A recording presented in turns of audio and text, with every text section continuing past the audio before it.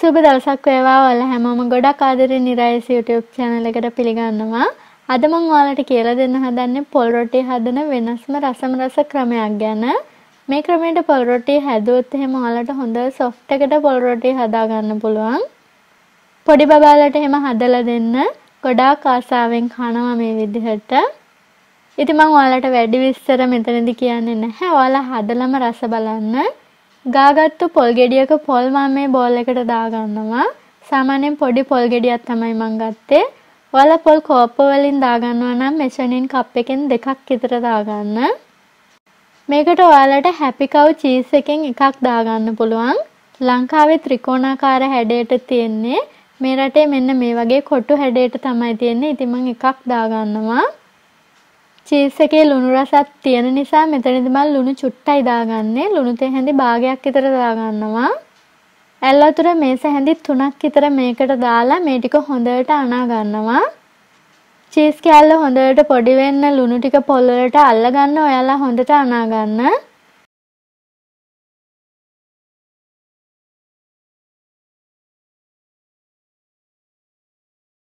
මම මේකට පිටිග්‍රෑම් 450ක් දාගන්නවා. ඔයාලා අඬු කෝප්ප වලින් ගන්නව නම් අඬු කෝප්ප දෙකක් දෙක හමාරක් වගේ අරගන්න.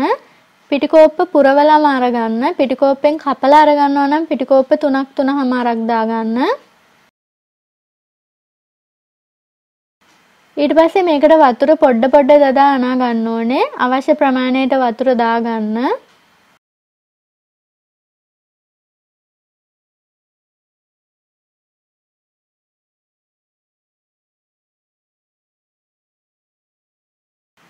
මම මේකට තවත් පිටි කෝප්පකින් භාගයක් එකතු කරගන්නවා. පිටි චුට්ටක් මම වෙන් කරලා අයින් කරගන්නවා. රොටි ටික තුනී කරනකොට දාගන්න.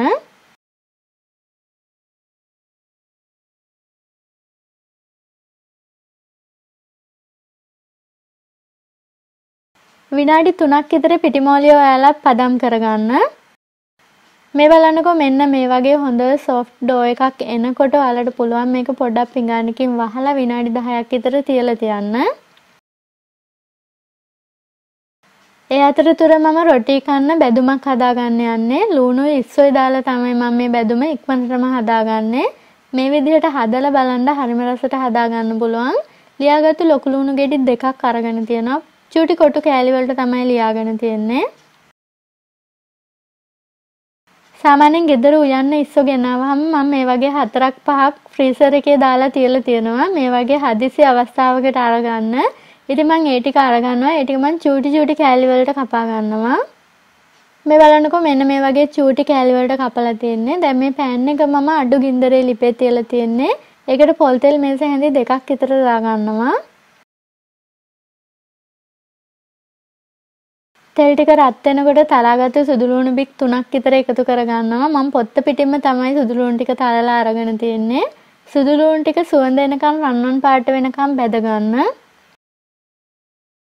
ඊට පස්සේ ඉස්සෝ ටික එකතු කරගන්න ඕනේ. ඉස්සෝ ටික තෙලේ ටිකක් වෙලා බැදෙන්න තියලා තියන්න ඕනේ.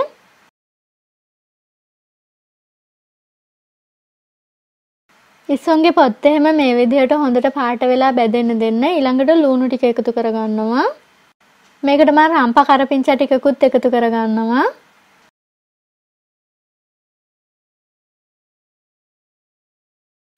මේ ටික හොඳට කලවම් කර කර තෙලේ බැද ගන්න ඕනේ. රසායනික ලුණු එකතු කරගන්න. මේකට මම කහ කුඩු ටිකක් මිරිස් කුඩු ටිකක් එකතු කරගන්නවා. ඔයාලා සැර කැමති විදිහට අඩු වැඩි කරලා එකතු කරගන්න.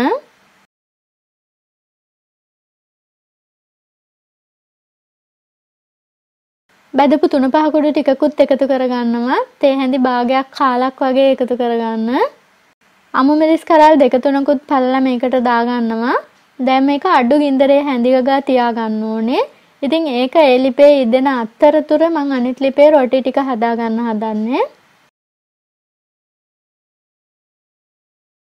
පිටියක මම විනාඩි 10ක් විතර තියලා තිබ්බා. ඊට පස්සේ මම මේක පොඩි පොඩි බෝල වලට කඩා ගන්නවා. එක සමාන බෝල වලට කඩා ගන්න. අගල වගේ සයිස් වල බෝල ඇති.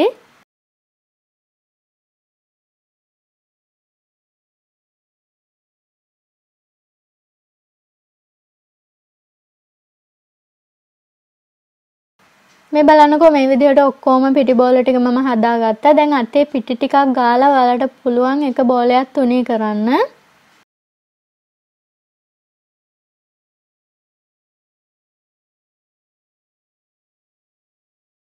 මෙන්න මේ විදිහට මේ ප්‍රමාණයට තුනී කරගන්න ඕනේ.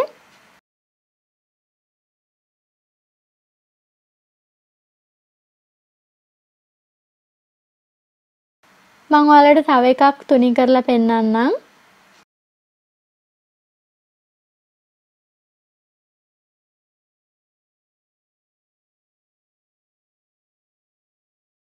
මේ බලන්නකෝ ගොඩාක් තුනි කරන්නේ නැහැ. මෙන්න මේ වගේ ප්‍රමාණයට තමයි මම තුනි කරගන්නේ. වීඩියෝ එකේ පේන විදිහට බලාගෙන තුනි කරගන්න. තුනි කරන තුනි කරන රොටිය ඔයාලට පුළුවන් පුච්ච ගන්න. එහෙම නැත්නම් හතර පහක් එකට මේ ක්‍රමයට ඔයාලට පුච්ච ගන්නත් පුළුවන්. පොල් රොටිය හදනකොට ටිකක් තුනියට පොඩියට හදන්න හරිම රසට හදා ගන්න පුළුවන්. ඒ වගේම තමයි මේකට අපි චීස් එකතු කරගත්ත නිසා මේ පොල් රොටිය ගොඩාක් සොෆ්ට් එකට එන්නේ. අපි සාමාන්‍යයෙන් පාන් පිටි පොළොයි දාලා හදන පොල් රොටිය ක්‍රිස්පියටත් ගන්න පුළුවන් නේ උනාට මේ රොටිය එහෙම ගොඩක් ක්‍රිස්පියට ගන්න බෑ. ඔයාලට හොඳ සොෆ්ට් එකට ගන්න පුළුවන්. ගොඩාක් වැඩි ගින්දරේ රොටි ටික පුච්ච ගන්න එපා අඩු ගින්දරේ පුච්ච ගන්න. ඒ වගේම තමයි මේ චීස් දාලා පොල් රොටිය හැදුවට පස්සේ පොල් රොටිය දෙකට වෙන් වෙනවා. සාමාන්‍යයෙන් අපි ලංකාවේ හදන පොල් රොටිය මෙහෙම දෙකකට වෙන් වෙන්නේ නැහනේ. මේ වගේ තුනියට හදාගන්න. එතකොට ඔයාලට චපාති වගේම රසට ගන්න පුළුවන්. මේක ඔයාලට ආටා පිටි වලින් හදා ගන්නත් පුළුවන්. මේ විදිහට දෙපැත්තම රන්වන් පාට පුල්ලි පුල්ලි ආවහම මම මේ රොටි ලිපෙන් බා ගන්නවා.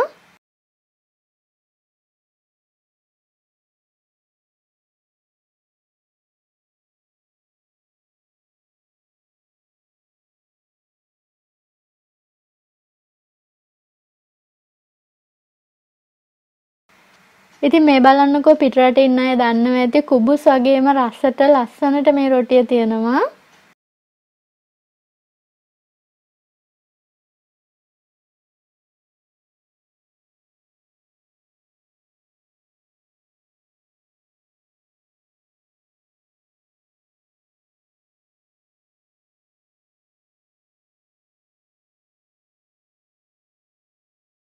මේ ක්‍රමයට හදලා බලන්න මේ තියෙන්නේ මං හදාගත්තු පොල් රොටි ටිකයි ඉස්ස බෙදුමයි. රෑට කන්න තමයි මම මේ පොල් රොටි හැදුවේ. ඉතින් ඔයාලට පුළුවන් මේක හදලා බබල්ලට ඉස්කෝලේ අරන් යන්න දෙන්නත්. ඉතින් හොඳ රසට අපි අද රෑට කෑවා. නිරායස් YouTube channel එක subscribe කරලා bell icon එක click කරලා තියාගන්න. තවත් රසබර වීඩියෝ එකකින් හමු වෙමු. අල හැමෝටම බුදු සරණයි.